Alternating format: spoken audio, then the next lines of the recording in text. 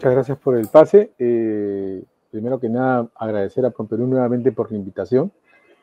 Este es un tema interesante. Creo que hablar de innovación siempre está bueno eh, y relacionarlo con el tema de e-commerce, que es un tema también que nos interesa a todos los que de alguna manera queremos interactuar con un, público que no necesariamente está a la, vuelta de la esquina, ¿no? Eh, puede estar en cualquier parte del mundo, pues suena como que más interesante todavía. Eh, hice esta investigación un poco buscando yo mismo también tratar de entender cómo podemos medir la innovación porque mucha gente, y me incluyo, hablamos de innovación pues constantemente, ¿no? Y innovación es algo que hacemos pues todos los días en realidad. Eh, lo que pasa es que a veces no nos damos cuenta que estamos innovando.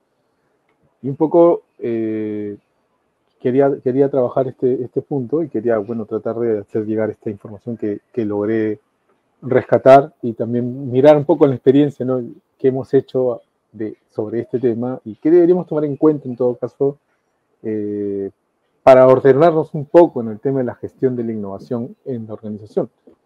En realidad no importa que seas grande, chico, mediano, eh, exportador o no, eh, la innovación es algo que es, es, una, es, una, es una buena costumbre tener que hacerla, ¿no? creo que las empresas que logran destacar en el tiempo y sobrevivir, sobre todo, es que principalmente lo que hacen es innovar.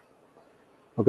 Bueno, pues yo soy Miguel Ángel Salazar Covaler, eh, y soy MBA, pero soy doctorando también de, por la Universidad Nacional Mayor de San Marcos en temas de ingeniería de sistemas, específicamente en los temas de e-commerce e inteligencia artificial. Esos son los puntos más, más este, que más me hacen revisar toda la semana, ¿no? básicamente.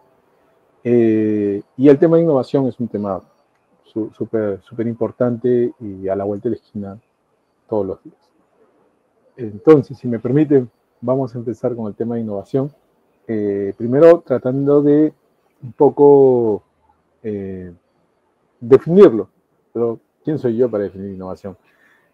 Podría tener, ¿sí? Pero vamos a inspirarnos un poco en los, en los grandes, ¿no? En los grandes que, que han trabajado durante tanto tiempo este tema. Empezando por Schumpeter, eh, que es un australiano, ¿no? Este, que se fue a Estados Unidos a dictar en Harvard, eh, muy conocido justo por el tema de, de, ver una forma sistemática de generar nuevos productos y sostenibles, sobre todo, ¿no? Hace muchas críticas a los sistemas capitalistas y socialistas de ese tiempo. Él, él, este, él nació antes de 1900, o sea, para que se den una idea. Y él define la innovación como hacer algo nuevo, eh, introducir un nuevo producto o, un nuevo proceso de producción. Acuérdense que esa era la etapa de la, de, la industrialización, básicamente, donde él se movía. Y hablaba de la apertura de nuevos mercados, ¿no? a la conquista de nuevas fuentes de materias primas. Ojo, materias primas. Es poco lo, que estaba en su contexto. Pero igual, él lo define como hacer algo nuevo. ¿sí? Eh, deja entredicho algo de los procesos, ¿no? habla de un nuevo proceso también de producción y no sé, de repente se están enganchando ya con el, con el, con el concepto, puede ser. Eh, sí, yo ya más o menos voy, voy eh, tratando de relacionarlo con cosas que, voy viendo, ¿no? Eh, Peter Drucker, uno de los héroes de la administración, ¿sí? De la gestión en realidad, ah, tiene buenos, buenos libros también, muy buenos escritos. interesante también su definición, miren, ¿ah? Para él eh, es una función específica el emprendimiento. O sea, es, y a él no le importa que la, el emprendimiento sea una nueva empresa, una empresa ya existente. Da lo mismo, es hacer, ¿no? Es emprender, finalmente, es la acción de emprender. Es, para él es inherente la innovación al tema del emprendimiento. ¿sí? Y, también lleva, eh, te lleva al mismo concepto, ¿no? Hacer cambios sistemáticos, sistemáticos. Él sí piensa que debe haber una estructura, que debe haber un proceso, ¿no? y exitosos al modelo de negocio y a los procesos de producción. Él ya está en una era en la cual ya comienza a verse la informática, la tecnología como algo que, que ya no es de ya no es futuro, ¿no? Ya no es este Asimov que decía lo que iba a pasar, sino que ya se está viviendo el tema de, la tecnología en sí mismo. Eh, él, es un gran, este, autor en temas de gestión, les recomiendo que igual buscan Peter Acker, es un clásico, o sea, tú puedes siempre... Pasaron los años y cosas que ha dicho Peter Drucker siguen siendo importantes. Eh, ahora sí nos vamos un poco más al lado de la innovación, innovación. ¿no? Eh, este es Tom Kelly, se los presento para los que no conocen. Él es un director de, de innovación, de hecho, de, de, productos nuevos, ¿no? en una empresa que se llama IDEO. IDEO. IDEO es una empresa especialista en hacer innovación. ¿ok? Eh, él hace miles de consultorías, han hecho ya, eh, y él es una de las personas que ha dirigido ahí. Eh, él define la innovación un poco más en base a su experiencia, ¿sí? en base a, a cómo ellos trabajan, la consultora IDEO, ¿no? que es, tiene muchos logros a nivel internacional, ¿no? y, sobre todo en su caso, ¿no? que es Estados Unidos. Para ellos, para él, para Tom Kelly, la innovación es un proceso integral que implica la creatividad, colaboración, es un tema diferente ya, cultura y estrategia, y que puede aplicarse a diferentes áreas de la empresa. O sea, ya no está hablando de crear un nuevo producto para algo, sino incluso hacer algo dentro de la empresa es innovador, ¿sí? Y claro, cuando tú haces algo dentro de la organización, seguramente va a tener un efecto hacia afuera de la organización. O si haces dentro de la organización, incluso a, lo mejor no cambia nada respecto al tema de, encaramiento del cliente, pero te puedes ahorrar costos o puedes hacer las cosas más rápido, que eso sí tiene algún efecto en el cliente. ¿no? Eh, y no importa que sean productos o servicios, o sea, para él da, da lo mismo, eh, no importa que sea específico en un producto, en un empaque, sino que incluso un servicio también puede ser innovado. ¿sí? Y él, justo aquí es donde entra el punto de Tom Kelly, ¿no? que define un poquito más cerca el tema de lo que ellos son expertos, de experiencia de clientes. Hasta la forma que se interactúa con los clientes. Para eso él también es innovación. Y lo amplía más todavía, ¿no? Trasciende hacia el punto de que se crea valor para la sociedad. Tom Kelly es un grande de la innovación, búsquenlo. Tiene un libro que se llama El arte de la innovación y tres, tres formas de encarar la innovación 10, 10, 16, 10. y es bastante, bastante interesante su lectura. ¿sí? Más allá de, de, que uno asuma ¿no? el framework que él propone, de lo interesante es cómo te hace pensar en las diferentes formas o perspectivas que uno debe tener respecto a qué innovar y qué no. Y ahora sí nos vamos a un que para descanse también, eh, Clayton Christensen es, digamos, el, que conceptualizó eh, el tema de innovación disruptiva. A haber escuchado eso alguna vez. Y es quizás lo que más nos pega el ojo cuando hablamos de innovación. Cuando, hablamos de innovación, la gente suele pensar más en esas cosas que pasan que de pronto dejan a, ¿no? a muchas empresas sin piso, ¿no? Le jalaron la alfombra a varias de ellas y de pronto apareció una nueva. ¿sí? Me imagino que ya se están eh, poniendo a recordar algunas de esas empresas que han logrado hacer eso, ¿no? Eh, ¿sí? Netflix, Airbnb, Uber, etc. ¿Ok? Bueno, es un gran autor, ha, definido un par de cosas, ¿no? Aparte de la innovación disruptiva, habla sobre el problema del innovador, ¿no? el dilema, el dilema del innovador, que es una circunstancia eh, que le ocurre a las empresas que llegan a innovar, ¿no? Un poco eh, dejando de lado a otras empresas, ellos destacando, pero quedándose ahora en el punto en el cual ahora ellos también les cuesta volver a innovar, ¿no? Y le ha pasado a casi todos, pónganse a pensar en Google, y lo que le está pasando ahora con ChatGPT, ¿no? Que en un momento también lo vamos a llamar a ChatGPT. Entonces, eh, innovación para Clayton Christensen eh, es un proceso también, ¿sí? Note que, la palabra proceso ya va apareciendo constantemente, ¿ah? Por el cual las empresas crean nuevos productos. Para él sí es creación de nuevos productos, procesos modelos de negocio, cualquier cosa que se haga a través de una empresa y que satisfaga las necesidades de un cliente. ¿sí? Y él va más al punto económico todavía, ¿no? Él te dice, y los llevan a pagar más, ¿no? Eh, pero ojo que esta definición es bien genérica, a pesar de su eh, conceptualización de lo que es innovación disruptiva, ¿no? Que es cuando existen productos de alta demanda. Eh, de precio alto y de precio bajo, ¿no? Ahí está un poco el, el, foco de la situación, donde de pronto aparece una empresa que por innovación, ¿sí? comienza a desplazar a la otra empresa, a la empresa de precios altos, porque ellos tienen un precio bajo, porque hacen mejor las cosas, ¿ok? Y una vez que llegan a este punto de competición, ¿sí? finalmente los desplazan, eh, y en ese momento, esa, esa solución ahora se convierte en el estándar. Si lo quieren ver un poco más sencillo, eh, incluso como, una especie de ejemplo, pensemos en lo que le pasó a, no solamente a los, este, al Blockbuster, ¿no?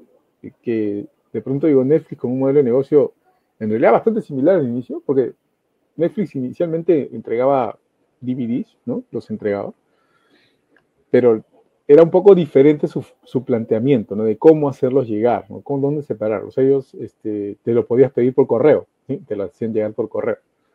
En el caso de, de Blockbuster era la tienda hermosa, ¿no? Donde estaban todos, que daba ganas de llevarse un, un, este, un, DVD, porque además el contagio, ¿no? La, parte social también de la interacción con otras personas hacía o permitía que tú también te animes, ¿no? Veías a alguien viendo algo de pronto te acercabas, ¿no? Y le preguntabas, oye, ¿qué tal esa película? Y, había una interacción adicional, ¿no?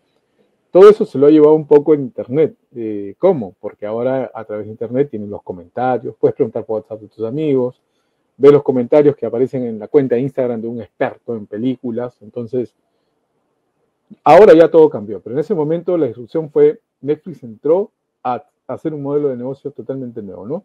Streaming, pago por suscripción, totalmente distinto al DVD. DVD era, alquilaba, listo, y ya está, fuera. Eh, tenía una a la vez, ¿no?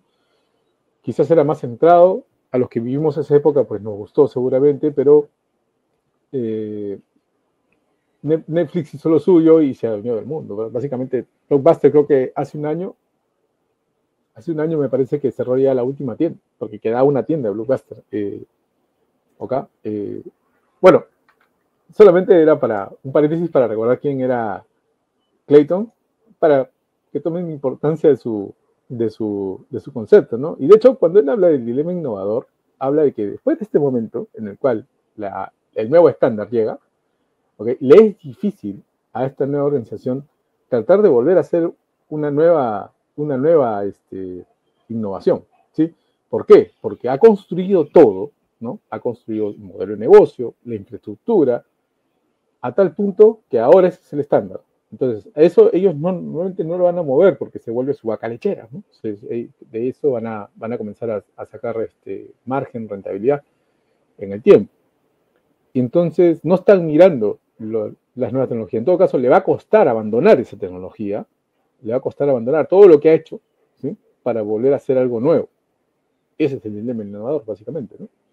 Eh, y ahora sí, llamamos a nuestro amigo ChatGPT para que nos diga, eh, según él, qué es innovación. Pues yo cuando le pregunté a ChatGPT, oye, dime qué es innovación, me dijo esta definición y después le pregunté, pero ¿quién te dijo que esto era innovación? Y me respondió bien, ¿ah? eh, me dijo, ah, ya, esto es un congregado de todos los conceptos de innovación que he encontrado por ahí. Y era verdad, me puse a revisar parte por parte y efectivamente todos los conceptos anteriormente mostrados poco se resumen en esta en esta pseudo definición de ChatGPT, ¿no? Sobre qué es un proceso, que es para desarrollar nuevas ideas, conceptos, productos, servicios, procesos, modelo de negocio. Todo lo que se te ocurre hacer nuevo es innovación, ¿sí? Así que ya sabes que tú estás innovando probablemente, ¿no? Eh, emprendedor, porque estás tratando de hacer de alguna manera algo, ¿no? Que sea rentable a ti, con el equipo de gente que tienes, con el modelo de negocio que tienes. Ahora, cuando eso salga, el tema está, y el consejo constante de los anteriores autores, es que no dejes de, innovar, que tengas un proceso de innovación constante, que tengas una vigilancia sobre las cosas que están pasando, sobre las nuevas tecnologías, sobre las nuevas formas de hacer las cosas. Y algo interesante que sí mencionaba eh, Tom Kelly era el tema de la cultura.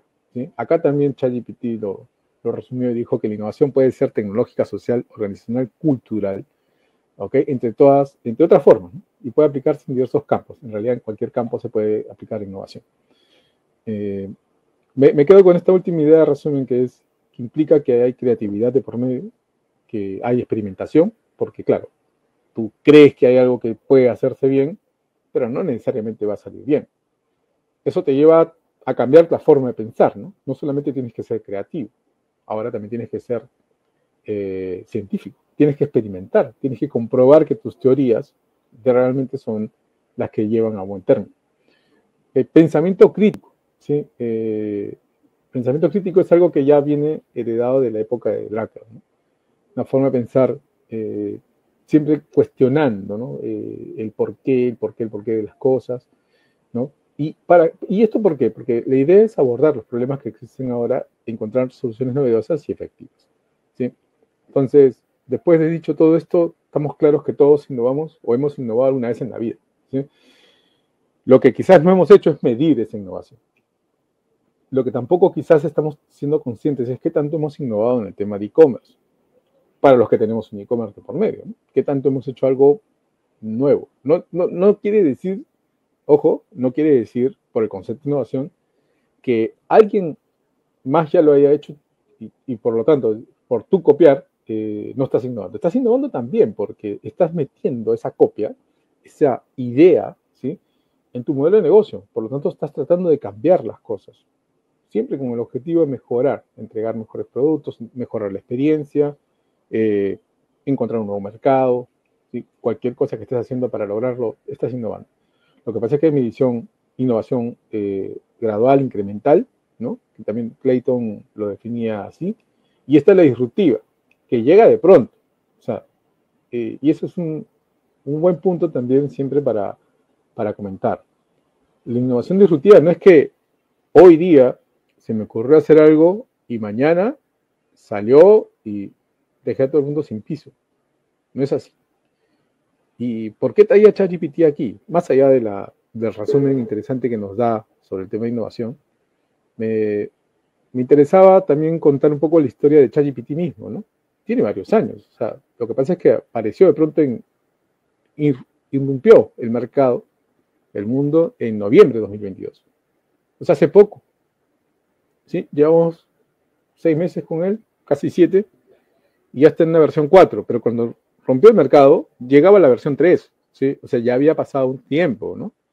El, emprendedor innovador Sant Almant, así se llama el autor de este, no el autor, sino que el fundador y CEO principal de este, de este negocio, digamos, porque se ha vuelto un negocio, eh, eh, sí, sí, sí, pensaba obviamente llegar al mercado y dar una solución, pero el mercado todavía no lo adoptaba.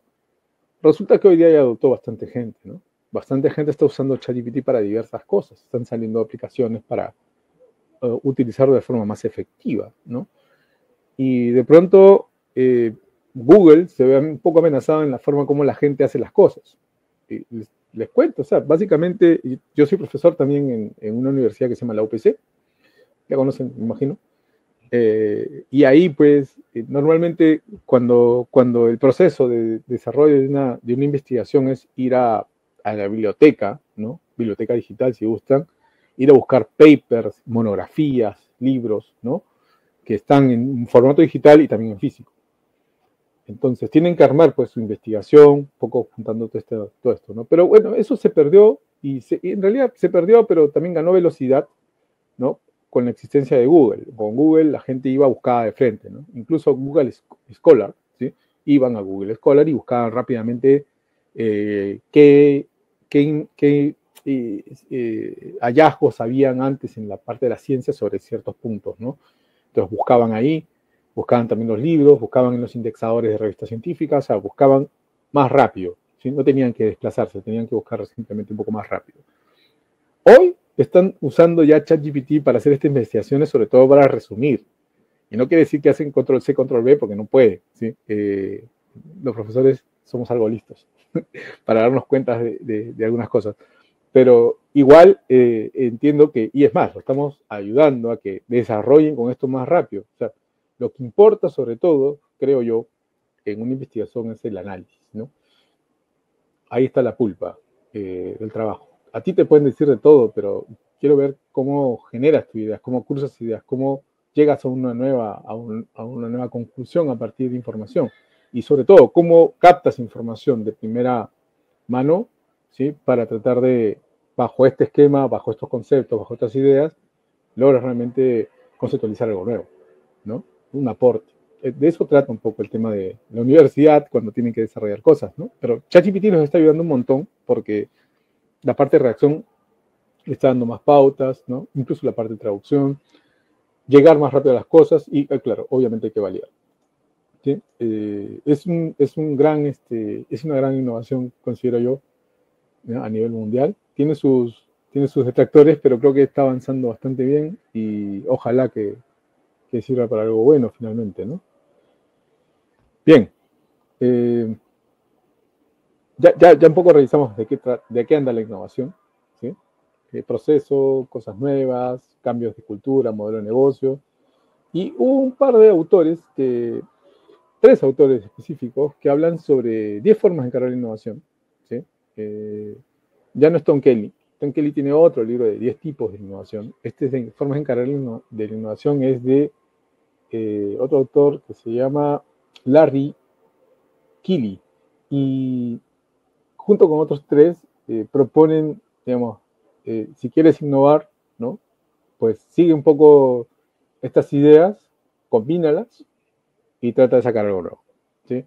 Él habla de 10 formas de encarar, de cómo organizas tus componentes, tu producto y servicio, de cómo cambias tu oferta, de cómo mejoras la experiencia del cliente, cambias la plataforma, y plataforma no se refieren al, al sitio web donde está tu, tu sitio, sino a cómo construyes relaciones con todo el ecosistema en el cual existes, ¿sí? cómo cambiar la forma de generar ingresos, el corazón del modelo de negocios, ¿sí? Con el efecto red, cómo hacer que de pronto eh, algo que sacas al mercado pues tenga algún, alguna relevancia, ¿no? por lo tanto atención y finalmente al, final, al final del día ingresos. Cómo cambias la estructura de tu organización para mejorar, cómo cambias algunos procesos, eh, o simplemente te basas en el rendimiento de un producto o servicio, y, cuando hablamos de rendimiento estamos hablando de cómo hacer que sea más eficiente, o incluso la marca, ¿sí? Cómo cambias la forma de comunicar la marca, ¿no? Cómo cambias la forma de hacer que la gente entienda cuál es tu marca y cuál es la importancia de ella. ¿Ok?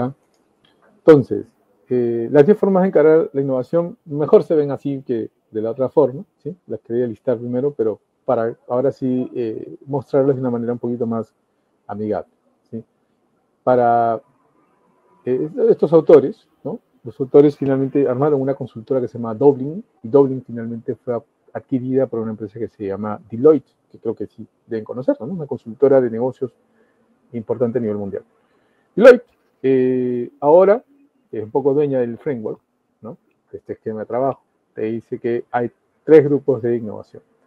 La configuración, en la oferta y en la experiencia. En la configuración, que tiene que ver con el modelo de negocio, más cerca a, ese punto. Las ofertas, tiene que ver más con el marketing, tiene que ver más con eh, la parte comercial y la experiencia, que esto es vital y que muchas veces nos olvidamos de ese detalle cómo mejorar la experiencia con el cliente, porque eso también es innovar. ¿Por qué? Porque finalmente, al final del ejercicio, como siempre, te va a generar réditos. ¿sí? Uno no innova para gastar más plata, uno innova porque tiene la esperanza de que finalmente, al final del ejercicio, tengas más ingresos, ¿sí? o por lo menos tengas más margen. ¿no? Eh, finalmente. Eh, de hecho, eh, ahora mismo en Perú existe todo un apoyo ¿no? para las empresas que innovan. Si tú presentas tu proyecto de innovación, tienes la posibilidad de bajarte un poco el tema de, los impuestos. ¿eh? Tienes que presentar tu proyecto, ¿no? tienes que validarlo, hay toda una serie de detalles. Justo con unos amigos estamos, estamos tratando de entenderlo bien, ¿sí? para, para poder ayudar y apoyar en estos temas, ¿no? que somos los que, los que, los que vemos temas de innovación. Entonces, eh, estos grupos de estas 10 formas de encarar están agrupadas, como les decía, en, tres grandes grupos, ¿no?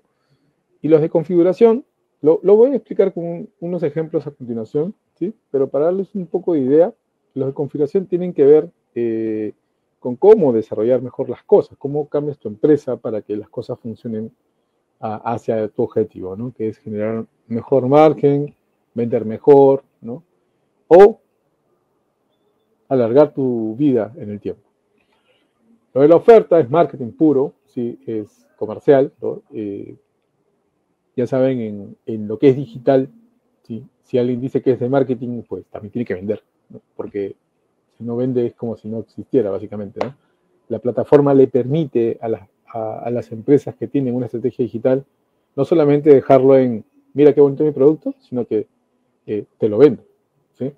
Tienes esa facilidad, tienes esa tubería ¿no? para poder hacerlo. Entonces, eh, la oferta tiene que ver con la parte comercial, e-commerce y marketing. Y la experiencia tiene que ver también con marketing, tiene que ver con cómo mejoras tu estrategia de canales, cómo generas más compromiso del cliente, a partir de, probablemente de proyectar mejor tu marca o un mejor servicio.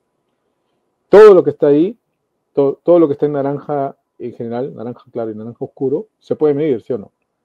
Te puedes medir cuánto más vendes de un producto específico, ¿no? O de una familia de productos.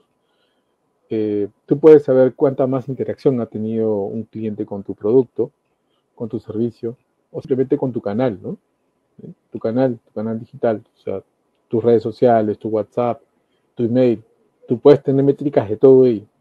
Por tanto, cuando tú haces una innovación en estos puntos, pues te es fácil sacar, una, sacar la cuenta, ¿no? De cuánto realmente estás innovando y qué, y qué tanto la innovación te está ayudando con ello.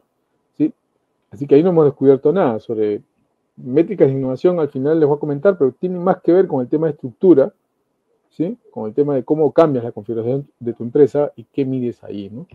o como proyecto, por último. ¿Cómo, cómo, ¿Cómo lo podrías encarar desde ese punto de vista? Ok, vamos con unos ejemplos primero en general sobre la forma de innovar. Ok, eh, en diferentes aspectos. ¿no? Por ejemplo, tienes a Netflix. Cambió la forma de cómo la gente consume, eh, consume sus productos. Eso fue un cambio directo a la forma como genera los ingresos.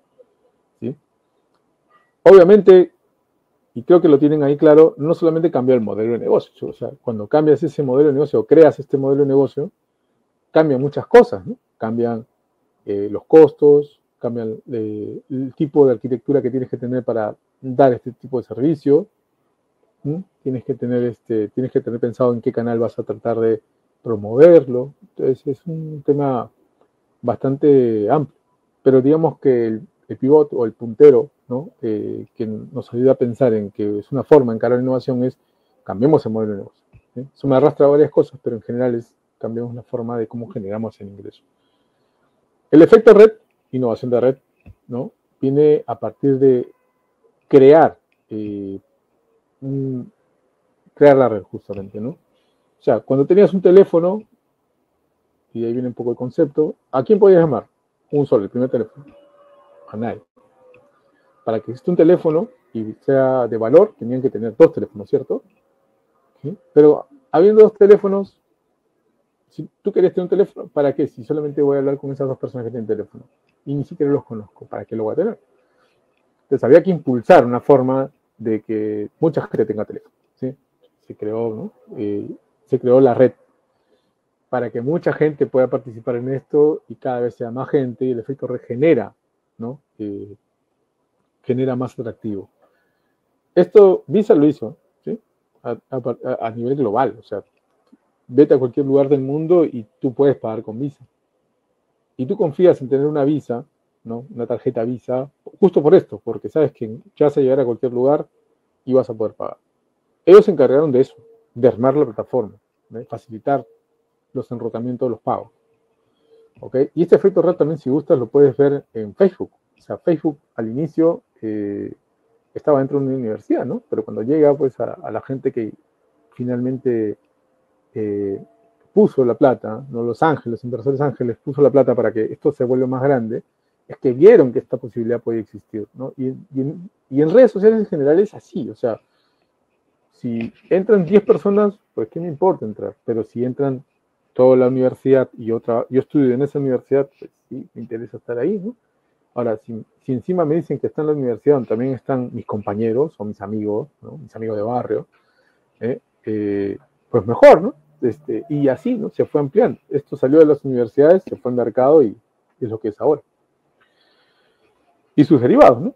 Este, las redes sociales, algunas de las redes sociales han funcionado, algunas no, la verdad. Eh, y las que no han funcionado es justo por falta de red, principalmente, diría yo. No, no tuvieron suficiente valor para que mucha gente quiera tenerlo, porque no mucha gente se metía. Entonces, eh, esta innovación de red, piénsalo, ¿cómo podrías tratar de encararlo a, partir del, de, un negocio e-commerce? Más adelante te doy un par de ejemplos, pero principalmente puedes ir pensando ya que estamos hablando de ello. Innovación de estructura. Esto ya es un poco más, eh, es más potente, ¿no? Cómo cambias, cómo organizas, reorganizas tu, tu empresa para que realmente mejore en general la innovación. En el caso de Google, ellos tenían una, ellos cambiaron la estructura plana, colaborativa y creativa. La creativa le hicieron porque ellos decían que el 20% de tu tiempo podías dedicarlo a un proyecto propio. Claro, si eres comercial dentro de Google eso es un poco difícil, ¿no?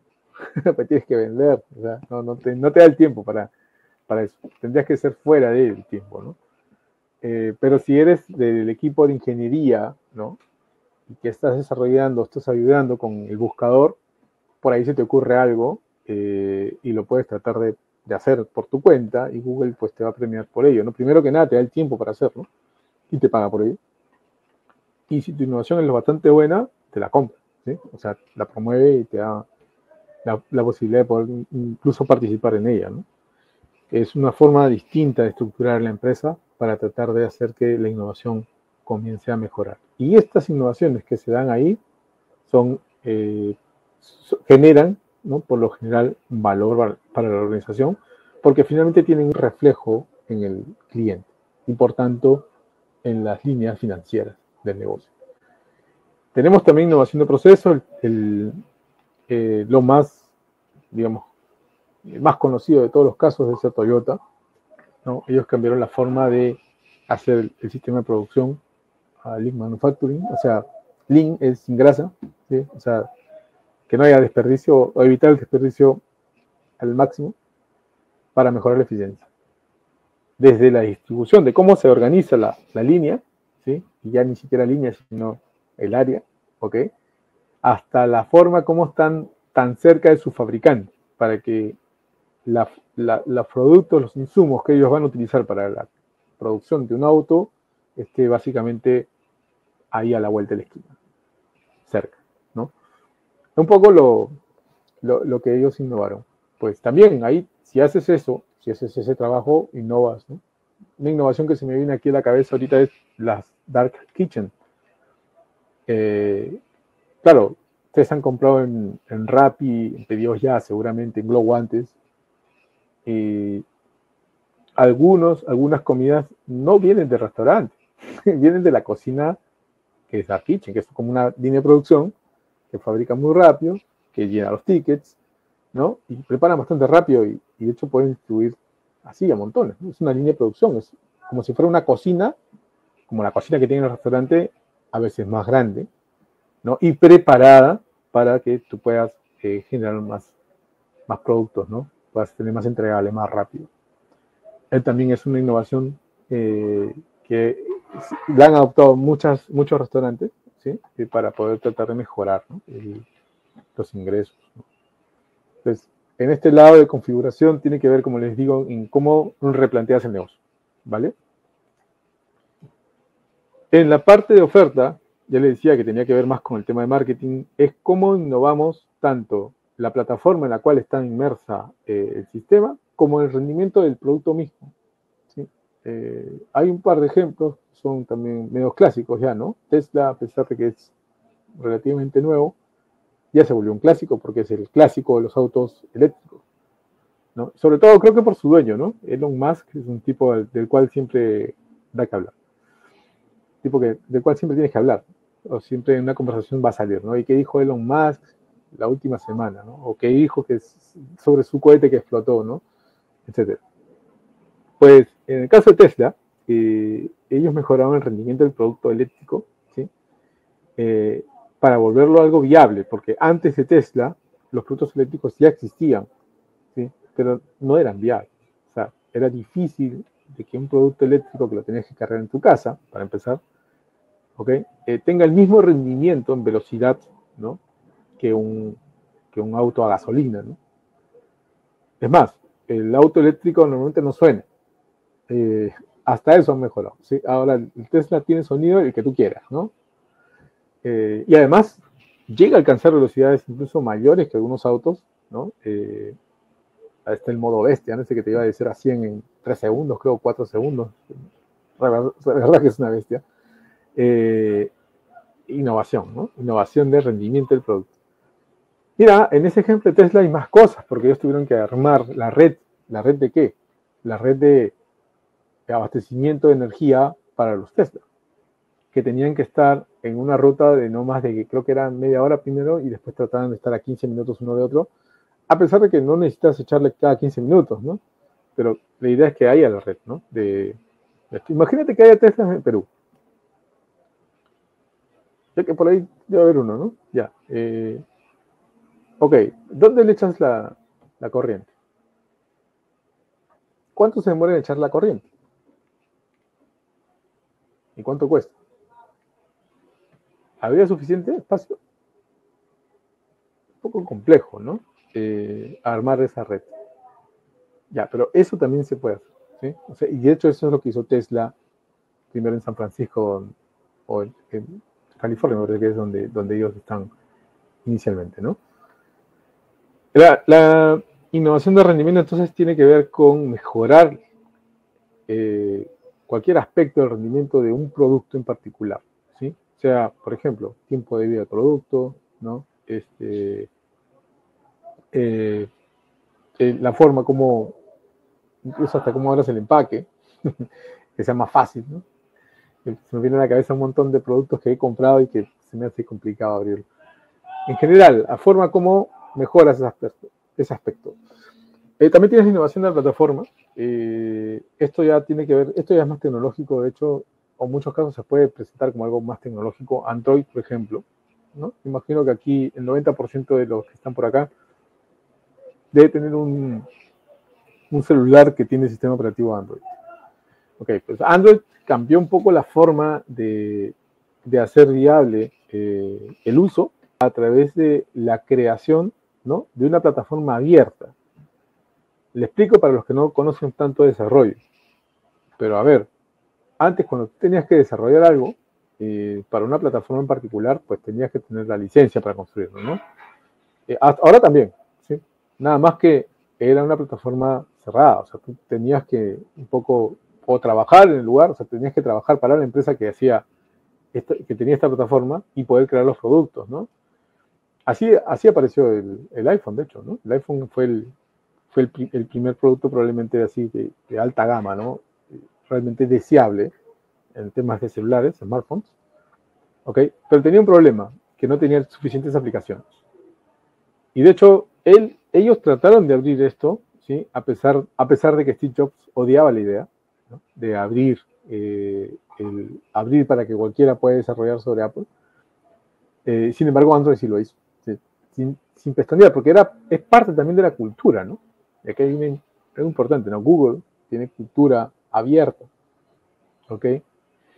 Meta, que antes se llamaba Facebook, ¿no? Ahora es Meta y tiene como, en, tiene soluciones como Meta, perdón, Facebook, Instagram, WhatsApp. Eh, es, es innovación abierta. O sea, mucho del código que ellos hacen lo regalan lo, tienen ahí para que tú te lo descargues y lo, mejores si quieres, o simplemente lo uses, ¿no? Y tienen cosas bastante, bastante interesantes. Eh, yo diría de, que compiten básicamente con cualquier tecnología avanzada, ¿no? Entonces, estas empresas sí piensan que la plataforma debe ser abierta, ¿no? Eh, que debe permitir a la gente que pueda bajarse el código y mejorarlo, ¿sí? Porque al mejorarlo, desarrollas más la organización. Al tener más gente desarrollando, forma de pensar, eh, el producto va a ser mejor. Apple no, ¿no? Apple era un poco de escritura cerrada porque para Steve Jobs los que tenían que validar que las cosas estaban bien hechas eran ellos, ¿no? No, había otra, otro camino. ¿Ok? Eh, finalmente la parte experiencia. Hay varias formas de, de, encarar esta parte, ¿no? Vamos a empezar con el de servicio. Seipos, no sé si ubican a Seipos, que es una empresa que no, no funciona aquí, pero en Estados Unidos su caso siempre es eh, como que bastante conocido. Ellos ofrecieron el envío gratuito. Y sobre todo de evolución, porque claro, estamos hablando de una empresa que básicamente vende zapatos. Eh, ellos fueron unos revolucionarios realmente de servicio al cliente. El hecho de acercarte el zapato, no te lo acercaban solo el zapato, te acercaban el zapato con dos o tres posibilidades por sí. El zapato que estabas eh, comprando no te satisfacía. Decías, no, creo que no me queda bien, ¿no? te, te lo podías regresar. O ahí mismo cambiar con algo que se le parecía. ¿sí? Eh, de hecho, no solo eso, sino que también el 24-7, que normalmente no es común de una zapatería, también lo implementaron. Entonces, ellos lo que buscaban era que los clientes estén satisfechos con la marca, que satisfechos su compra siempre, a pesar de que es un servicio online. Eh, Target, que también es legendaria por muchas cosas que han, han ocurrido, aparece más de un caso de marketing, siempre habla sobre la aplicación móvil que metieron, ¿no? Para poder que, que, tú dentro de una tienda puedas comenzar a escanear los productos con tu QR y tengas más información de ellos. De alguna forma fueron innovadores en el tema de omnicanalidad, ¿eh? buscar que eh, la persona, el usuario tenga esta experiencia también, ¿no?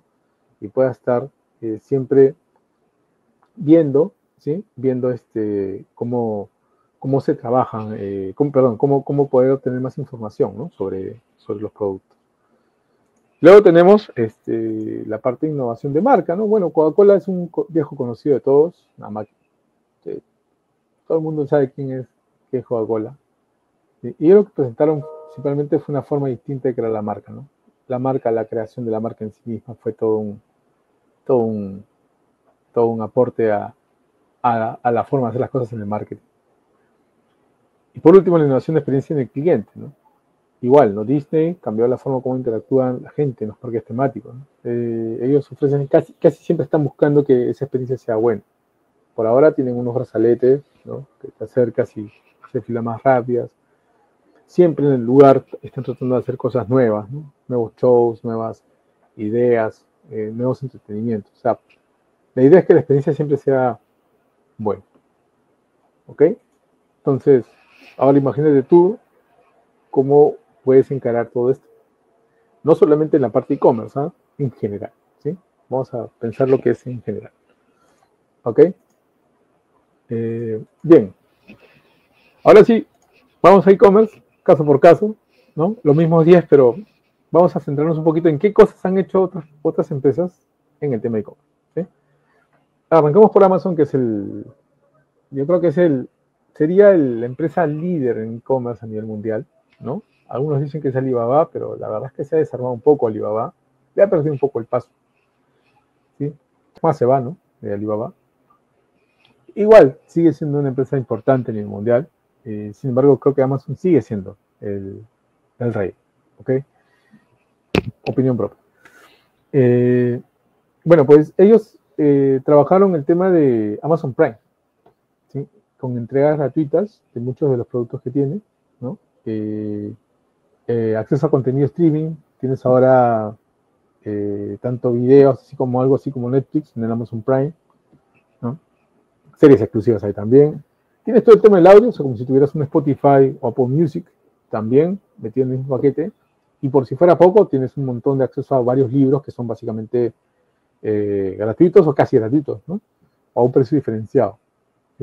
Y muchas cosas más. O sea, ellos tienen en Estados Unidos productos como el Closed Closet, ¿ok? Donde puedes comprar, como Seipos, ¿no? Puedes comprar productos, ¿sí? Eh, y, y, además, si no te gusta, lo devuelves, ¿no? Eh, cuando te lo llevan, además te lo llevan con sugerencias, ¿no? O sea, bastante interesante el servicio. Eh, y ellos compraron Seipos, de hecho, ¿no? O sea, ellos aprendieron de, de Seipos. Toda la parte de servicio al cliente, pues trataron de, de entender cómo funcionaba. No lo, no lo metieron como parte del negocio, pero sigue siendo un negocio separado, pero eh, aprendieron bastante de esa adquisición. ¿sí? Entonces, una forma de generar un modelo de negocio nuevo es tener el servicio Prime, ¿sí? servicio Plus. Ahora los que tienen Rappi, seguramente, o los que tienen pedidos ya, han visto que hay ¿no? una suscripción de un Prime. ¿no? Supone que algunos beneficios tiene. Es una forma ¿no? de generar innovación. Airbnb es de, también creo que es un, conocido ya, ¿no? conocido ya. y habla sobre eh, cómo, cómo, la, cómo crear una plataforma que una gente, ¿no? Ellos piensan más en la red. Eh, una empresa sola, eh, una persona que quiera rentar un espacio sola, no es muy buena oferta, ¿no? Pero si permites que mucha gente pueda publicar esto, se pone interesante. Pues ellos lo que buscaron es eso, ¿no? Hacer que la red exista. Inicialmente lo, pusieron ellos mismos, ¿ah? No sé si están tanto un poco la historia de Ring pero ellos lo que hicieron fue ver los anuncios que habían en otro sitio que se llama Craigslist. Craigslist es un tablón de anuncios que podías poner, de vender tus medias usadas o, tu computadora que ya no querías, ¿no? Y para renovar hasta un auto o una casa. Los clasificados del comercio de hace años, pero online, ¿no? Craigslist era feo, pero eficiente ellos dijeron, podemos hacerlo mejor y además meternos en este mercadito, ¿sí? que es el mercado de las viviendas, de los espacios. ¿no? Lo hicieron bien, de hecho. Eh, sufrieron con la pandemia como todos, pero mira, después de, después de un tiempo sobrevivieron y es una alternativa para la gente que le gusta viajar o salir un poco de, de casa ¿no? y visitar otros países. Me ha tocado usar los servicios y la verdad es que no me puedo quejar. No ha sido un hotel, pero he tenido otras prestancias interesantes también, ¿no? Que, tienen estos espacios. ¿sí? Etsy se parece bastante a lo que muchos de, los negocios que, normalmente son audiencia en, en, en, este, en Perú, eh, pues, modelos de negocio bien parecidos, ¿no? Etsy es un creador de artesanías, o sea, perdón, vendedor de artesanías, o sea, tiene una red de, de negocios que crean las artesanías, diferentes tipos. Imagínate tener aquí a chulucanas. Con, este, no sé, algunos eh, alfareros de aquí nomás de, de, de Ancash o de, Huancavelica, no sé. Ya, hay redes, ¿sí? Ya están los productores, lo que ellos han hecho es montar toda la, la estructura para que esto pueda ir y venir. Entonces, se ha montado la parte en la cual la gente puede publicar sus artesanías, ellos vigilan que la calidad sea buena y ellos se encargan de promoverlo, venderlo. De hecho, tienen la maquinaria para hacerlo. Y ha sido muy de nicho, ¿no? O sea, es gente que quiere eh, vender artesanías, básicamente. Y del otro lado tienes la demanda de gente de artesanía o productos hechos a mano, simplemente. Tienes otro activo, tienes su espacio y han podido aumentar de ahí.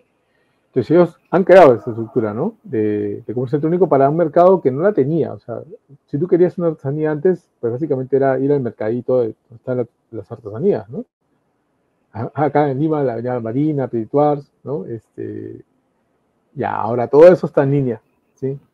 Eh, Etsy logra hacer esto que a nivel mundial, no solamente Estados Unidos, ¿no? Eh, y hace que cualquier cosa llegue a cualquier lado un cambio estructural total, ¿no? Brutal. Procesos, Walmart, en lo que tiene que ver con comercio electrónico, pues lo que ha hecho es eh, la posibilidad, lo que innovó fue la posibilidad de recoger en tiendas productos en. Eh, sí, ellos fueron, aunque parezca raro, ¿no? Ellos fueron uno de los primeros que lo hicieron. ¿Por qué? Porque ellos tienen una red amplia de edificios, ¿no? que son los lugares donde la gente puede comprar, con almacenes grandes, ¿no? Tienen estacionamiento, hay espacio para todo. ¿Y qué han hecho? Pues han innovado justo en esa parte. Puedes ir a recoger básicamente cualquier producto a Walmart, este, puedes comprar, de hecho en Walmart venden de todo. Y puedes ir a recogerlo en el Walmart al cual está más cerca de tu posición o el que, o el que estás de pasada, ¿sí? O sea, podría estar viajando de estado a estado y haces una compra por el, compra para que te entreguen en tienda en el Walmart que está en el camino. Eso es un poco lo que, lo que cambia, ¿no? Ellos no inventaron, pero rediseñaron el proceso de cómo entregarte un producto. No solamente era delivery, sino que ahora es, si quieres, vienes y lo recoges. Ahora esta forma de, de, gestionar los, los, los, digamos, los, los recojos se ha ampliado, ¿no? Está por todo el mundo, mucha gente los usa, ¿sí? Este, no sé si se han dado cuenta, ¿no? Este, ahora aquí Falavera lo tiene, ¿no? Este, cualquier cualquier e-commerce busca que lo tengas, ¿no? Iraoka lo tiene, Crisol lo tiene, muchas empresas lo tienen. ¿Ok? Alibaba también es un ejemplo de innovación en temas de proceso. Ellos todo un sistema de logística impresionante. Y ellos han desarrollado su propio sistema de entrega, se llama Cainiao. ¿Qué es lo que hace Cainiao? Eh, esto ya usa tecnología. Ellos han permitido meter tecnología para que las entregas ¿sí? sean mucho más eficientes, más rápidas.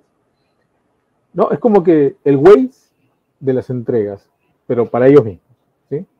Y mejor que Waze, ¿no? porque la idea es que la entrega sea eficiente. Waze hace lo que puede. ¿sí? Hace lo que puede porque, o sea, si me pongo a explicar un poco el tema de algoritmo, ¿sí? eso me lo explicó un profe, eh, un profe que es también especialista en temas de inteligencia artificial, me comentaba, ¿no? Eh, Waze no te da la mejor ruta, o este da la mejor ruta en el tiempo más, eh, más confiable, más confiable para que no abandones la plataforma, ¿sí? En el tiempo más conveniente para que no abandones la plataforma. ¿Tú imaginas que pones Waze y se muera media hora? Porque a lo mejor en media hora sí te saca el mejor, la mejor ruta, ¿no?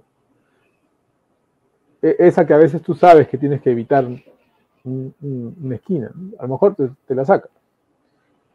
Lima no es tan complejo en todo caso, ¿no? No es tan, o sea, es grande, pero ya más o menos la conocemos, ¿no? Pero hay ciudades que son un poco más complejas, sistemas más largos, entonces ahí sí hay posibilidad de sacar este, un poco mejor las cosas, ¿no? Bueno, Alibaba ha logrado hacer esto este, también para sus rutas de entrega. Ellos innovaron un proceso interno de la organización para que cueste menos la distribución, Para que sea más rápido. Y con esa entrega más rápida, pues finalmente le pega la parte de experiencia del cliente. ¿Ok? ¿Se puede hacer en e-commerce? Se puede hacer en e-commerce. ¿No? Nike eh, lo que ha hecho es personalización pura. Ellos ahora te permiten que tú tengas tus propios eh, zapatos de tus colores, tus diseños, que, el que tú quieres. Esto aumenta la satisfacción del cliente, de hecho, ¿no? yo quiero ese, lo quiero en azul y blanco, lo quiero en, celeste con, rojo, lo quiero en algún color en particular. ahí lo tienes. Lo quiero con una insignia de algo, ahí está, se puede sea, Nike ha logrado hacer este trabajo este, de una manera bastante impresionante. ¿Ok? ¿se puede personalizar la entrega? Sí. Poco tecnología en, medio, pero se puede. ¿No? Shopify es la plataforma en realidad que permite que tú puedas vender, por ejemplo. ¿no? Ellos han vendido, ellos venden una plataforma que vende. Esa es la parte interesante de, de ellos. ¿no? Entonces, esto Parece mentira, pero ha democratizado la forma de hacer e-commerce. Antes, para hacer un e-commerce, pues tenías que contratar un grupo de desarrolladores bastante grande, ¿no? Eh, hacer e-commerce de verdad, ojo, ¿ah? no sé si habrá oportunidad de, alguna otra charla para hablar sobre cómo construir un e-commerce, pero en general un e-commerce eh, no es una plataforma simple, no, no, es, no es solamente el WordPress con WooCommerce, ¿no? Sí sirve, no voy a decir que no, pero no es eficiente para el tema de e-commerce en sí, sí. Hay otros sistemas más pro o más creados para, para esta función. Estamos hablando de Magento, de Vitex, ¿no? Este, de otros más, otros, otros más que hay en el mercado. Y Shopify es parecido a estos de aquí, pero con la, diferencia que realmente cuesta mucho menos, ¿no? Entonces han podido hacer una máquina que puede vender, ¿ok? Y que te es fácil generar los ingresos. En cuanto a servicios, pues, ahí tenemos que hablar varios, ¿eh? eh Salando eh, ellos, eh, ellos cambiaron las cosas con el servicio gratuito a toda Europa, o sea, de frente, ¿no? Ah, yo te vendo aquí y a, toda, a toda Europa te lo vendo sin, ningún problema, ¿no? Sin ningún costo adicional. Casper, eh, en el caso de ellos es, imagínate vender colchones ahora, ¿no? O sea, lo que normalmente era difícil hacer por un canal como este, pues ahora lo pueden hacer. ¿Sí? Warby Parker, en el caso de Warby Parker es una marca, ¿no? Que ha logrado hacer una, una venta bastante interesante. ¿sí? Eh, ellos han mejorado la experiencia del cliente y han logrado hacer que la gente pues tenga ahora gafas personalizadas también, ¿sí? pero principalmente trabajando el tema de, marca. ¿no? Y finalmente Sephora, que imagino que sí lo conocen, sobre todo las chicas, eh, que ha generado una mejor experiencia eh, ayudándote en la compra, ¿no? De, en la compra de la innovación a través de tecnología este, de realidad virtual. Bastante interesante. Les, recomiendo que vayan a ver Sephora Virtual Artist y lo verían, ¿no? Me había quedado en Sephora. ¿sí? Este, Sephora es una Sephora es una empresa que vende maquillaje, básicamente, ¿no? Eh, ellos implementaron una aplicación para que te ayude con el tema de maquillaje, ¿sí? O sea, te ayude con realidad aumentada a ver cómo sigue tu rostro con cierto, cierto tipo de, pintura, básicamente, ¿no? Color. Eh, eso es difícil, ¿ah? Porque una cosa es el color que tú ves en la vida real y otra cosa es el color que aparece en un celular. Pero, pero bueno, ellos han utilizado tecnología de alta gama para poder hacer esto realidad. ¿Sí? En general, innovación eh, se trata de hacer ambas cosas, ¿no? Eh, oh, perdón, innovación se trata de hacer cosas nuevas, ¿no? Productos nuevos, constantes mejoras, ¿no? Eh, pero esto tiene un tema, que normalmente la gente usa una de ellas o deja de pensar en ellas. Y de todas las que hay. Hay modelo de negocio, red, estructura. Si, te pones a pensar un poquito más en cada uno de los casos que te he presentado, ¿sí? Cada, cualquiera de estos casos, el efecto no ha sido uno nada más, el efecto ha sido varios, ¿no? Salando te cambia eh, el servicio gratuito, pero eso quiere decir que el proceso cambia, que la forma de generar los ingresos cambia, ¿sí? que la forma de presentar la marca cambia que la forma de utilizar el canal también cambia. Vender colchones en línea, que es un reto, eh, y sin embargo lo podían hacer. No, esto de aquí les ahorra bastante costo, porque mira, tener una tienda donde tengas un colchón es espacio, básicamente, ¿no? Eh, esas tiendas que tienen esos colchones ahí funcionan de almacén en tienda, ¿no? Y el almacén se llena, entonces no tienes tampoco este, muchos, eh, mucho espacio para poner todos los tipos de, productos que quieras poner. Ellos lograron hacer una cosa un poco más compacta, ¿no? Este, entonces ellos evitaron de alguna forma que el cliente tenga que venir, claro. Dices, ¿cómo voy a echar un colchón que nunca le he probado? Nuestra costumbre, nuestra forma de hacer las cosas normalmente te invita a que tú tengas eh, que probarlo, ¿no? Empujarlo, no sé, o sea, sentir cómo, es, cómo es esa interacción con este producto, porque es un producto totalmente físico, ¿no? No es Netflix, es producto que realmente lo vas a usar. Sin embargo, han tenido éxito. ¿Por qué? Porque han entendido bien cómo transmitir esa idea, cómo, sobre todo, gestionar la parte que si no te gusta me lo regresas, ¿no? Eh, hay, un, hay una marca de, de colchones en España que se llama Morfeo. Buen nombre, ¿no? Eh, ese, ese Morfeo, lo, que tiene es que si no te gusta el producto en un mes de prueba, lo regresas. Sigue la misma línea que Casper, ¿ah? en realidad. Eh, son negocios similares, en realidad, uno inspirado en el otro, ¿no? Y es lo que, lo que pasa. Por eso es que tienen éxito, porque logran entender cuáles son las cosas que son difíciles para el usuario, para el cliente, y tratan de superarlas de alguna manera, ¿no? Entonces, estos grandes innovadores, ¿sí? Eh, normalmente usan más de un tipo de innovación a la vez, ¿no? Los top, estos son de los 500 más importantes de Estados Unidos, ¿sí? 71% eh, de ellos usaban más de tres tipos de innovación de las que hemos visto. ¿Ok? Porque en realidad, cuando tú vas a hacer un cambio real. Las cosas realmente que sí cambian, ¿no? Ahí totalmente cambian. Si yo tuviera que resumir un poco dónde en e-commerce se puede cambiar de forma, digamos, medianamente sencilla, eh, sin hacer, porque existen las opciones, sería en, cualquiera de estos cuatro aspectos. primero, la experiencia. Puedes mejorar un poco la experiencia, quizás con el, uso, de inteligencia artificial, como eh, recomendando productos, ¿no? generando nuevos, eh, ahora con, herramientas como ChatGPT, generar textos para mejorar digamos, la descripción de tu producto, Mejorar, ampliar fotos, ¿no? Mejorar la foto, mejorar la calidad de las fotos, que también hay servicios que te hacen esto, ¿ok? En cuestión de delivery, ya estamos hablando de la entrega misma, ¿no? Pues puedes mejorar las rutas con su inteligencia artificial también, ¿no? Tú puedes proponerte tener entregas el mismo día, cosa que es un poco difícil gestionar, pero se puede entregarlas en una hora, imagínate eso, O entregarlas en una hora específica, ¿no? De acá más tarde, o sea, que le permitas al cliente que pueda organizar eso puedes hacerlo, o sea, todo esto lo puedes pilotear, ¿no? Puedes tratar de ver cuánto te va a costar hacer esta gracia, ¿sí? O hacerlo como una marcha blanca, ¿no? O como un piloto para algunas personas nada más a las cuales este, le, propones hacer esto. ¿no? O sea, puedes probar. También puedes hacer opciones de unicanalidad. si tienes un e-commerce y tienes una tienda, sobre todo ahí, ¿no? Eh, puedes tratar de hacer algunas, algunas acciones que haces a través de, la aplicación o de ah, la web de, tu negocio, puede hacer, pueden prepararse para que se ejecuten cuando estás en la tienda. ¿sí? Lo, que hacía, ¿no? Este, algunos de estos negocios, algunas ideas que ya venían era, oye, pone que ponga, que pueda ver más información sobre productos si es que hace, este, escanea, ¿no? El, texto, el, QR o, el código de barras. Pero algo que tú tengas preparado, ¿no?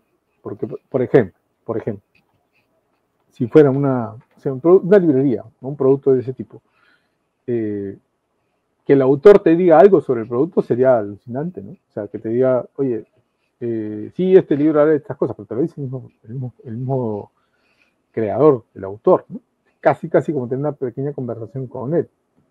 Imagínate ahora tener un chat, ¿no? Que en la tienda o en el e-commerce, eh, no importa dónde, puedas comenzar a conversar con él y que te diga, ¿no? Sí, te recomiendo este libro, este otro también está bueno, ¿sí? Eh, traspasar un poco el límite del canal es un poco lo que, lo que puedes hacer ahora con tecnología también y estarías innovando de hacer cualquiera de estas cosas. ¿no? Y bueno, lo otro que es las formas de pago. O sea, Mercado Libre tiene una empresa que se llama Mercado Pago, es la misma empresa en realidad, que es la que da las opciones de formas de pago. ¿no? Esta empresa, eh, Mercado Pago, ¿ok? Permite a las empresas este, poder eh, incluso ahora pagar con criptomonedas. No está acá todavía en Perú, lamentablemente, pero ya seguramente va a venir. Y, oye, pero criptomonedas, pero es muy caro. pero es una opción más. Eh, si va a ser rentable, bacán. Se puede, se puede, se puede. No se puede, ya está. Por ahora mismo, ahora mismo, eh, poder tener opciones de pagar con Yape, con Plin, son bastante, bastante buenas, ¿no? tenemos, tenemos este, innovaciones acá en Perú. ¿ah? La, contraentrega en el tiempo de la pandemia fue importante. ¿no? La gente no quería poner su tarjeta, tenía desconfianza, lo que hacía era traerme el POS y yo pago. ¿sí? Se hizo. Eso existía, pero aquí era como que más usual, ¿no? Entonces, la empresa se arriesgaba un poco, ¿no? Tú como empresario te arriesgabas un poco porque tenías que llevar el producto sin que te lo hayan pagado. Podría ser que esa ruta sea perdida, porque también a lo mejor no encontrabas a la persona, había salido, estaba una call, como, como, como una reunión, entonces simplemente no se podía, pero se arriesgó, ¿no? El, el, no creo que para eso sí es bastante atrevido. Y funcionó, funcionó a tal punto que generó confianza entre ese negocio y esta persona. Y eso fue una innovación que ha permitido ahora otros medios de pago, ¿no? La gente yapea, la gente plinea, la gente paga con tarjeta, y la gente paga con efectivo también, ¿sí? Este, Inca Pharma te, da la opción de que puedas pagar en efectivo, ¿no? Te dice cómo te vas a pagar y te, te paga de vuelta. Y lo mismo lo hacen los chifas, las pollerías, etc. En e-commerce, si implementas algo así, estás innovando, estás mejorando ahí tu, producto. ¿Ok? Bien, acá cuando les den la... Ah, no tienen enlace, pero bueno, eh, pueden buscar al autor, ¿no? A Deloitte, en todo caso, pensé que ahí está. Pueden buscar eh, 10 Types of Innovation, ¿ok? Pueden buscar eh, y la palabra clave Deloitte, que es la empresa que organiza esto, y tiene un PDF con esta información que te da 100 ideas distintas para ver dónde podrías innovar. Creo que darle una leída te da un poco pie a que puedas comenzar a pensar de una manera distinta, a pensar de que, oye, ¿y si cambio esto también? Ese espíritu de experimentación es muchas veces lo que hace falta, ¿no? Y bueno, ahí, ahí está, ¿sí? Te dejo un poco la idea para que lo plantees. Finalmente hablemos un poco de las métricas. ¿sí? En 3, 4 minutos creo que lo resolvemos. Y es que eh, ellos mismos, los de Larry Keeley, ¿no? Este, con otros autores que han creado estas, formas de encarar la innovación, tipos de innovación le llaman ellos, eh, te dice que hay formas de, tratar de, medir lo que estás haciendo en temas de innovación, incluso tener en cuenta lo que ya pasó, ¿no? ¿Cuánto me ayudó a innovar esto? Entonces, por ejemplo, de arranque, ¿no? El valor económico creado por la innovación de la empresa es uno de los, puntos eh, primeros que podrías medir. O sea, si yo creé un producto, hice una innovación en un servicio, ¿ok? Le atribuyes un porcentaje de, ese, de esa generación, ¿sí? lo puedes ver históricamente y ver cuál ha sido el diferencial y ver cuánto te ha contribuido la innovación a la empresa. Digo, porque si tú tienes que sostener que hay, o hay que defender que se tiene que innovar en una organización, pues definitivamente tienes que hacer algo más allá de solamente quedarte con la idea de que sí, que bacán, vamos a innovar, ¿no? Es como cuando el de redes sociales te dice, sí, vamos a publicar esto. ¿Pero por qué? Porque rinde. Y bueno, tú que tienes el mismo criterio que yo, básicamente dirás, ¿cuánto rinde? Eh, rinde. No, no, quiero saber cuánto rinde. O sea, ¿cuál es mi beneficio de hacer esto? Porque si estamos haciendo una actividad es porque esperamos que pase algo. Ese algo que va a pasar es un alcance. Las redes sociales, ¿no? ¿Cuánto alcance? ¿Cuánto más me vas a presentar a la gente? ¿Cuánta gente me vas a presentar? Dame un par de datos, ¿no? ¿Sí? Eh, ah, 100.000 personas. De los nuevos, 10.000. Bien. ¿Puedo asignar un valor económico a las 10.000 personas? Sí, pues, si quieres le das 10 centavos, ¿no? Si quieres hacer una proyección de cuánto te cuesta alcanzar una venta, ¿ok? Ir hacia atrás y ver de toda la gente que históricamente te visitó, cuántos te compraron. Es tratar de una especie de ratio de conversión, si quieres, desde redes sociales, que es un poco difícil. Pero se puede, o sea, se puede plantear siempre trabajos con números para tener una idea, un punto de referencia, una forma de, ver las cosas. ¿Ok? Lo mismo, ¿no? El, el, NPS, ¿sí? El NPS también lo puedes ver a partir de los productos y servicios que estás entregando, afuera y adentro. ¿ah? ¿sí? O sea, si tú dices que estás haciendo algo nuevo dentro de la organización, también adentro puedes medir qué tan bien lo estamos haciendo, ¿no? ¿Ok? Pero claro, eso está después. Primero, pensemos en todas estas eh, cosas que nos afectan desde afuera. Por ejemplo, puedes preguntarle a la gente cómo te percibe. Si el cambio que estás haciendo se percibe bien, ¿no? Si el cambio que has hecho está impactando ¿no? en innovación. Para hacer esto hay que tener un poco de plata, porque finalmente hay que preguntar, ¿no? Sin embargo, hay herramientas que te permiten preguntar, por ejemplo, en línea. No lo he puesto aquí como referencia, pero vayan y busquen una herramienta que se llama Hotjar, H-O-T-J-A-R, que te permite hacer algunas encuestas a clientes que están sobre tu plataforma, ¿no? De una forma bastante fácil de implementar. Con esto obtienes información sobre cómo están percibiendo alguna actividad que haces. Y si no, por último, a todos los que tienes alcance, tienes base de datos, te hace llegar la encuesta, ¿no? A través de un correo electrónico. Puedes hacer eso.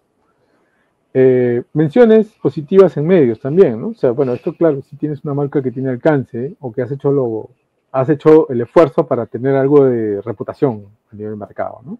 también puede ser que, te ayude a, trabajar esto. Y por último, por último no, como segundo punto de esta parte, puedes estimar también lo que va a pasar más adelante a partir de innovaciones que estás haciendo ahora mismo. O sea, puedes comenzar a entender bien cuál va a ser el, económico, el valor económico de esta iniciativa una iniciativa en particular. Quiero hacer un nuevo modelo de entrega. Bacán. Entonces, todavía no sabes cómo te va a rendir, pero más o menos puedes estimar cuánto te podría generar más. Y ese costo es un indicador que después tendrás que validarlo si lo implementas, pero por lo menos tienes un punto de partida. Un punto para comenzar a pivotear o apalancar ¿no? tu, tu nueva iniciativa dentro de una organización. Si tú eres el dueño, bueno, tú mismo tienes que demostrarte que realmente se puede, ¿no? Si eres uno de los que está colaborando dentro de la organización, pues esa iniciativa que se te ha ocurrido, que puede ser buena, podrías tratar de apalancarla a partir de estos datos, ¿no? Son todos supuestos, pero se puede. ¿Hay data histórica a veces? Sí, y se puede trabajar algo con ello, ¿no? También puedes comenzar a tratar de entender qué tanto la colaboración con otras organizaciones, con el mismo cliente o con el distribuidor o con la empresa que te fabrica parte de los insumos que tú entregas, si esa colaboración está rindiendo frutos o no. ¿Ok?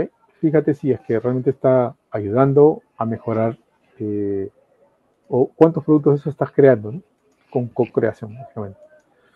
¿Ok?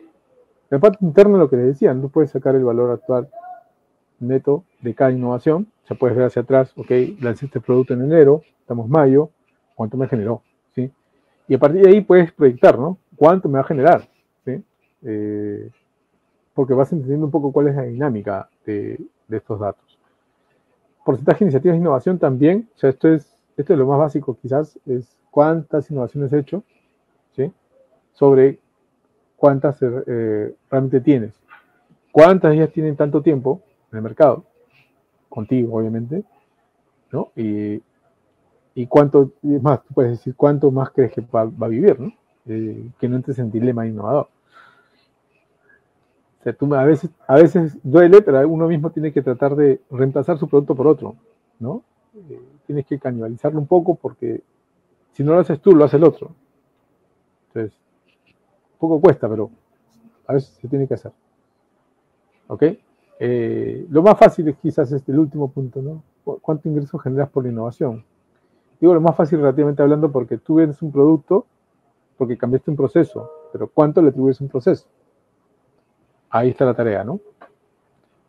Tratar de ver cuánto realmente me, cuánto realmente me estoy ahorrando por generar un nuevo proceso o cuánto más me estoy gastando, pero cuánto más me está ingresando a partir de ahí. Son, son puntos que tendrías que comenzar a ver. en cuanto a proyección, pues ver cuántos proyectos más vas a tener, ¿no? este, si realmente estás alineando a lo que realmente quiere el negocio, cuántas de estas ideas están saliendo, están saliendo bastante bien, ¿no? bastante alineadas ¿no? al, al, negocio, etc. Por último, eh, yo creo que esta es la más, de repente, eh, interesante para cualquier aplicación para cualquiera, es de las innovaciones que tienes ahora, que son incrementales y no te dices cuenta. ¿sí? ¿Cuántas realmente tienes? O sea, cuéntalas. Creo que tener estos puntos hacen de que tú mismo te alientes en el tema de construir toda una cultura organizativa para que abrigue al tema de la innovación, que no se pierda, que esté en todo. Sobre cómo intentar la innovación hay muchos, muchos autores que hablan de diferentes cosas. Eh, algunos hablan de innovación abierta, en la cual básicamente es eh, colaborar ¿no? con instituciones, con universidades, con eh, con eh, otros emprendedores que estén un poco en línea de lo que tú también quieres hacer. Puede ser, es una, una forma de hacerlo. Otros tienen innovación cerrada, empresas muy, muy grandes, a veces prefieren tener todo bajo llave, ¿no? Todo adentro. Pero de que la innovación venga de cualquier lugar, ¿no? Si gustas ahí, fíjate el caso de 3M. 3M es esas empresas, ¿no? Que no importa quién tenga la idea, si la idea está buena, se evalúa y se lanza. El POSIT saben que salió así, de ahí, ¿no? De, una idea interna de un trabajador que tuvo esa iniciativa. Le dijo, esto aquí, este pegamento que íbamos a usar, se puede usar para este papel. Y se usó finalmente, ¿no? Y vieron la rentabilidad que tiene, porque los POSIT se siguen vendiendo. Y ahora con la parte de creatividad, ¿no? Aquellos que les gusta, por ejemplo, todas estas técnicas de, co-creación, design thinking, por ejemplo, ¿no? Eh, usan POSIT. Y creo que es la mejor forma, además, de, de, de co-crear, ¿no? Sobre todo en vivo. En general, pues, todo, todo, lo que... La idea sería cualquier cosa que, puedas hacer, lo midas, ¿no? En general, esto ya es en general. De otros autores encontré algunas cosas que hablan sobre, ejemplo, por ejemplo, como el número de patentes. Y ya, pero no todas las empresas hacen patentes, ¿no? ¿Cuántos gastos haces en eh, I más D? Eso sí se puede tratar de sacar. ¿Cuánto realmente estoy investigando? Si tengo una persona a cargo de este tema, ¿no? O un consultor externo, sé cuánto le pago. Una persona, sé cuánto tiempo está dedicando ahí. Así que puedo más o menos sacar línea de cuánto porcentaje de gastos estoy haciendo de I más D. ¿Ok? Sobre el resto de gastos. Yo mismo puedo ser consciente con ese indicador de que no estoy haciendo el esfuerzo suficiente, quizás. ¿eh? Así como nos quejamos muchas veces, ¿no? De, de nuestro mismo estado, ¿no? Oye, pero no invierten en educación, que no invierten aquí, que no invierten allá. La pregunta es, ¿tú como negocio lo haces?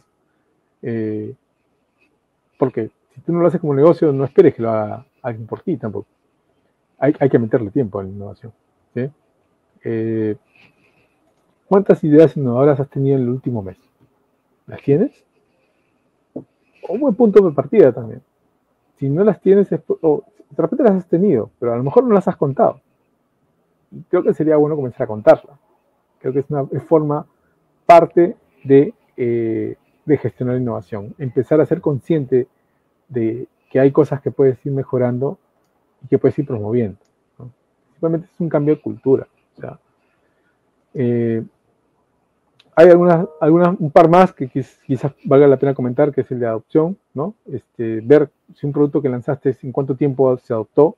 A veces pasa mucho tiempo, a veces la gente no lo adopta finalmente, ¿ok? Entonces, comenzar a medir esos productos nuevos que lanzas con innovación, no que el producto sea innovador, sino que la innovación está detrás del lanzamiento de un producto ¿sí? o de un servicio, pues comienzas a medir, ¿no? ¿Cuál es el nivel de adopción? si mejora el nivel de adopción o no, si mejora el tiempo de adopción o no, ¿sí? si tu tiempo de, o sea, tu velocidad de innovación mejora, y para eso hay técnicas, eh, si la rentabilidad en general del negocio ha aumentado a partir de innovar, a, partir de gastar más dinero en, innovar.